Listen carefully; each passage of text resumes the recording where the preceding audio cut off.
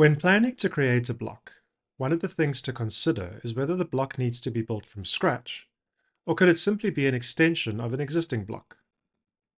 This lesson introduces the concept of block variations, which are a way to create different versions of an existing block. Block variations are a way to create iterations of existing blocks without building entirely new blocks from scratch. A block variation differs from the original block by a set of initial attributes or inner blocks.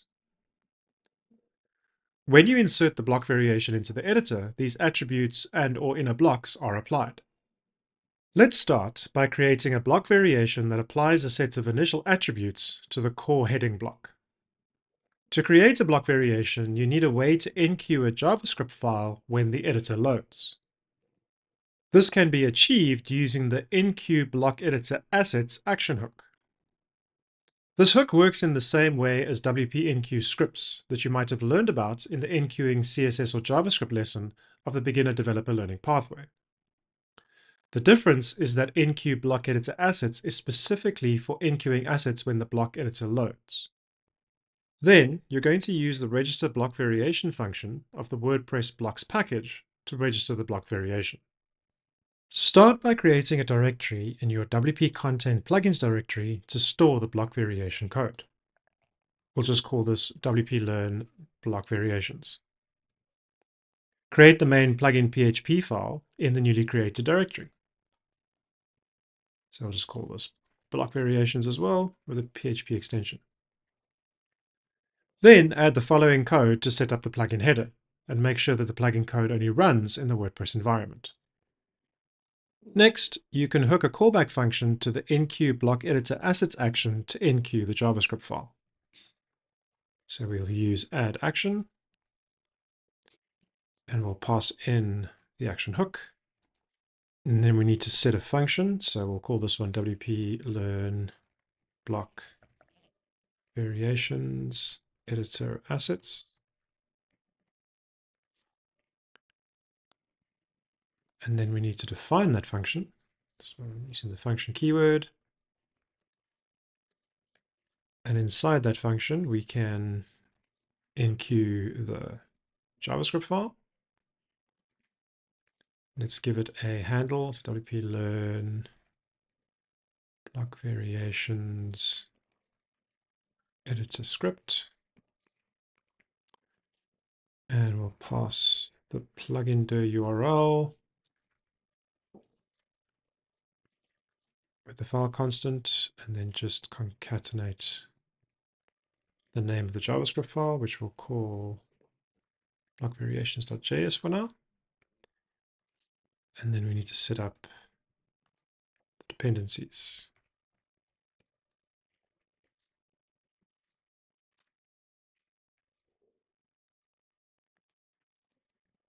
Notice that you need to specify the WP blocks dependency to make sure your block variation code only loads once the WordPress blocks package is available.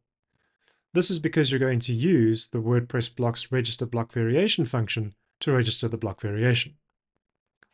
Now create the block variations.js file in the plugin directory and add the following code. So let's create a new file, block variations.js. And here's what your code looks like. This code registers a block variation of the core heading block. It sets the name of the variation to WP Learn Block Variations custom heading, the title to custom heading, and the attributes object sets the content of the heading to custom heading. You can now activate this plugin. Then, edit a post or page, and insert the custom heading block, either by clicking on the block inserter and searching for custom, or typing forward slash custom in the editor.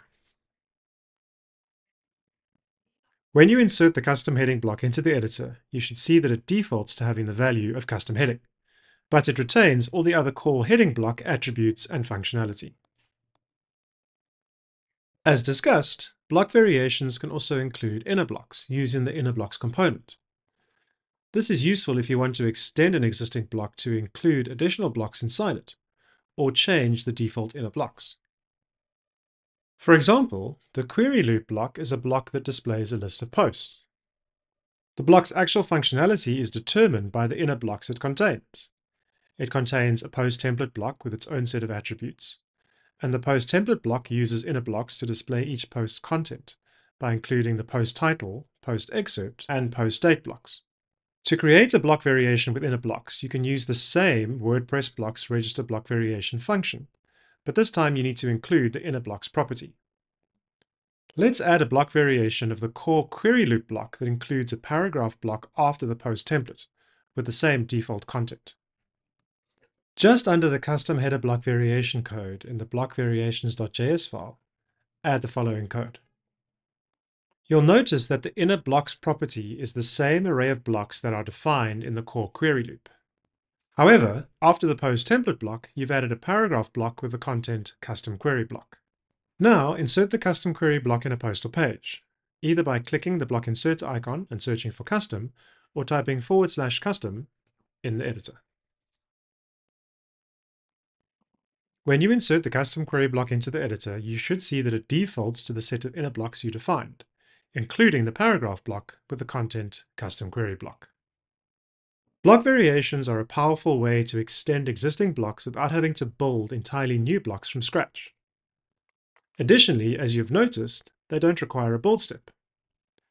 Therefore, if you have the need for a block that is similar to an existing block, but with additional functionality or different attributes, Block variations are a good way to achieve this.